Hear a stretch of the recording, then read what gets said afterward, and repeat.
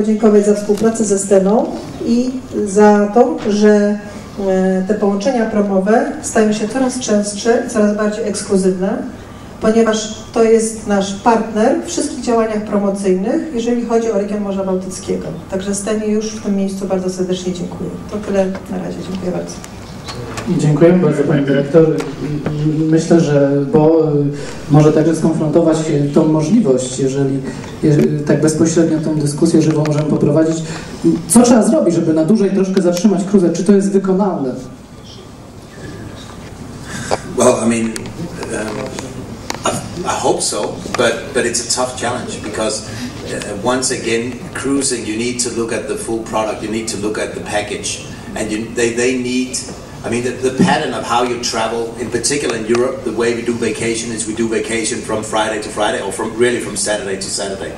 So, so typically, you know, the Italians, the Spaniards, the Germans, you know, they have one week of vacation or two weeks of vacation, and then they travel Saturday to Saturday or Sunday to Sunday, and that's the pattern, and that's how the ships they go. So they have one week, typically, of course, there's exceptions, but in general, they have one week. Um, they have one week uh, to do a cruise, and they need to reach St. Petersburg, uh, Helsinki, Stockholm, Copenhagen, etc. as well. So that is a tough challenge. Having said that, there is a couple of cruise lines, a few cruise lines, and a trend we're seeing also because the fuel is becoming more and more expensive because of the oil prices. So they're really planning the itineraries very, very differently now in order to save money as well and still add value to the customers and the, and the full um, uh, package. So we're seeing more that they, a lot of the cruisers, like Asamara Club Cruises, for instance, uh, they like to do more destinations. So they spend typically a couple of days in the destinations as well. So already now we have some of the cruise lines that are actually doing more destination than sailing from day to day, if you know what I mean. That is, of course, a, an opportunity. But the biggest opportunity, the way I see it in, in Poland and, and Gdynia Gdansk, is that you have two incredible cities, and to my knowledge, very different cities. Uh, to my knowledge, only 25 to 30 kilometers in between. Um, that's like a dream scenario. Uh, and I assume that, you know, the polit politicians always agree in Gdynia and Gdansk, and, you know, everyone is happy, and the collaboration between those two cities are just fantastic and never ever any challenges. Or what? Um, it's a great opportunity because the way I see it, you have a, a I mean, when you see some of the things that we are promoting, you know, you have a great aquarium for maybe the younger crowd uh, right on the pier pretty much. You have Gdansk, very, very old historical city. You have the beaches. Uh, you know, you have a lot of different opportunities to create some really, really nice packages. Those packages could include uh, an overnight stay. They would still stay on board the ship. They wouldn't, they wouldn't spend money for a hotel when they have the ship right outside the door. But that, that is an opportunity that you could look into and actually extend it so they would stay overnight. Or maybe one and a half days before going to the next destination. But you probably need to target those cruise lines that are doing that pattern. But I'll tell you what, in Copenhagen, there's a small city called Elsinore, north of Copenhagen, which is very famous in Denmark at least for the Kronborg Castle and, and Hamlet, which is a very, um, very unique site and, and a beautiful entrance into the Øresund region. And for many years, it's been considered that Copenhagen is the big one, and you know that they are, you know, kicking ass up in Elsinore, and they're not interested in competition. But but but there are discussions going on now between those cities, Helsingborg, Elsing, Elsinore, north of Copenhagen, same distance, about 40 kilometers, and Copenhagen, how to actually collaborate a lot closer, because a lot of the uh, ships don't mind visiting one port then bring the passengers by bus to the other one and experience two destinations in just one or two days to save fuel and to give the passengers an extra experience. So we're seeing a pattern and a change of pattern in the in the way they think itineraries that could benefit a city that has got two incredible cities within such a, short distance. So, but you need to create some really good packages targeted the cruise lines and speak to those shore excursion directors of the different cruise lines and explain to them how much value you can give them and how many different excursions you can do that will make them uh, money at the end of the day and of course the city too. Ponieważ jest to dyskusja, to albo wywołał temat pakietów. Może ktoś z Państwa chciałby zadać konkretne pytanie? Ja może. Proszę bardzo. Ja mam takie pytanie, no, może rzeczywiście... Może bardzo proszę się przedstawić, tak żebyśmy mogli. Dobrze, nazywam się Anna Bielska i jestem, Nie wiem, czy działa? Działa, działa.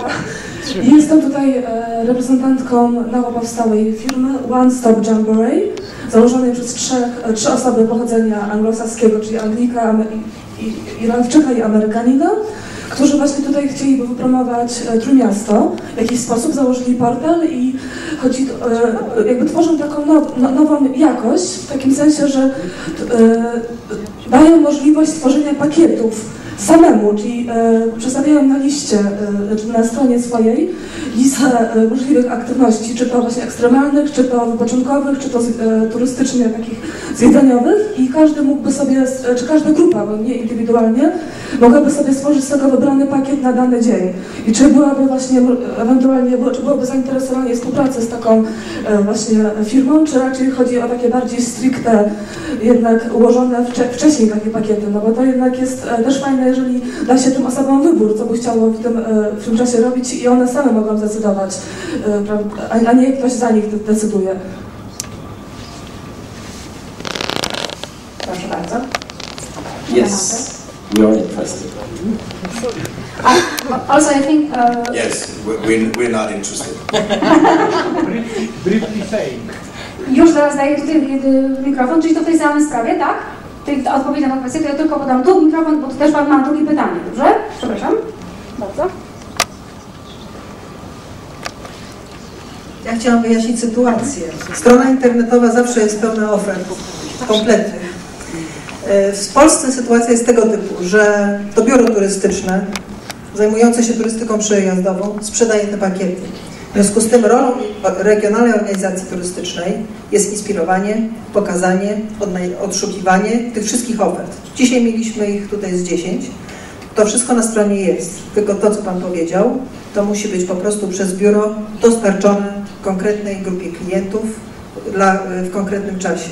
I tu jest problem, że te biura nie zawsze potrafią taką ofertę i z taką ofertą dotrzeć do Pana klientów. To jest nasz problem po prostu, nad tym współpracujemy, tych wszystkich e, magnesów szukamy, natomiast e, prywatne biura powinny to sprzedawać. Nie jesteśmy w stanie tego zrobić za nie, bo to nie jest nasza rola.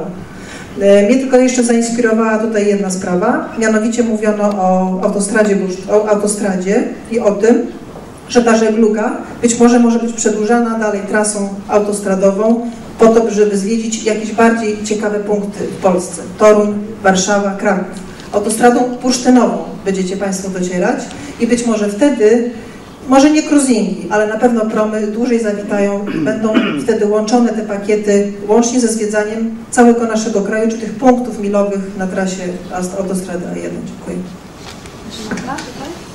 Proszę Państwa, myślę, że no nie sposób się nie zgodzić z tym, co, co powiedział, y, czy z opinią, jaką wyraził Pan Dyrektor y, Martensen. To jest oczywiste, że y, operator, tak jak wcześniej były to na przykład koleje na Dzikim Zachodzie, jest zainteresowany żywą promocją destynacji, do której ten ruch prowadzi.